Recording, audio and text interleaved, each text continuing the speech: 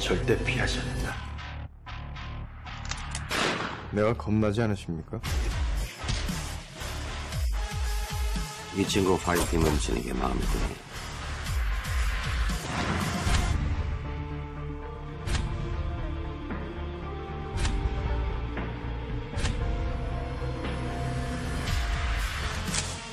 정태구 씨, 정확하게 하시는 일이 뭐죠? 먼저 잘못했습니다 하고 말을 시작하시든가. 왜 갑자기 그 깡패한테 내 카지노 지분 절반을 넘겨야 한다는 겁니까? 조원근 씨. It's not until you fall that you